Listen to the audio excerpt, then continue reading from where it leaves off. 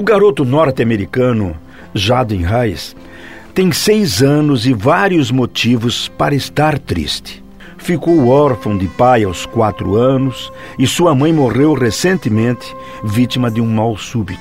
Apesar disso, não são lágrimas que vemos no rosto do pequeno que, mesmo sentindo falta dos pais, abraçou a missão diária de fazer as pessoas sorrirem. Por que as pessoas estão sempre tristes?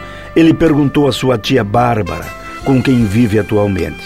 E na intenção de coletar sorrisos e espalhar alegria por onde passa, ele teve a ideia de comprar patinhos de borracha e outros pequenos brinquedos e entregá-los a pessoas que estejam com expressão triste. Ele queria que as pessoas sorrissem. Então me perguntou como poderíamos fazer isso, afirmou a tia, que aceitou comprar uma sacola cheia de brinquedos e acompanhar o menino em passeios.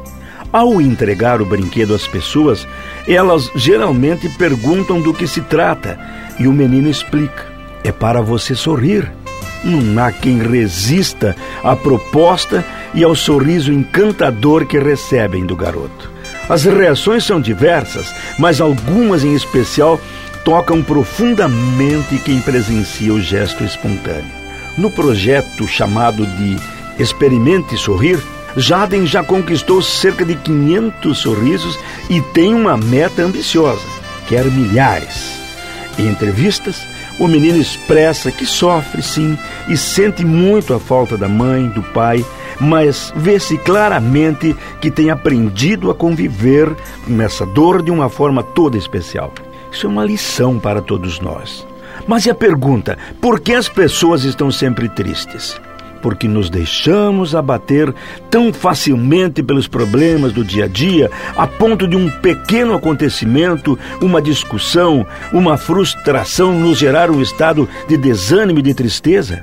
Por que valorizamos tanto as razões para chorar, se as razões para sorrir são tão numerosas na vida?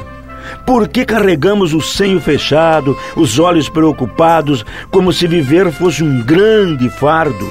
Muitos temos questões sérias para lidar. Enfrentamos desafios difíceis até na vida, na família, no sustento material. Porém, será que a existência é apenas isso? Será que não é possível viver um pouco melhor mesmo com todas essas batalhas diárias? Sim, é possível. Contudo, não existem fórmulas mágicas, segredos revelados apenas uns aos outros. Cada um deverá encontrar forças na intimidade do seu ser. Alguns sairão por aí atrás de sorrisos, entendendo que quanto mais damos, mais recebemos e maior felicidade acumulamos. Perceberão que quando nos ocupamos em fazer o outro feliz, automaticamente encontramos nossa cota de felicidade e consolo para nossos flagelos. Assim sendo, haverá um dia em que a tristeza cederá lugar à alegria. Uma alegria constante, pois nosso coração estará repleto de amor. Reflitam sobre isso e tenham todos um ótimo dia.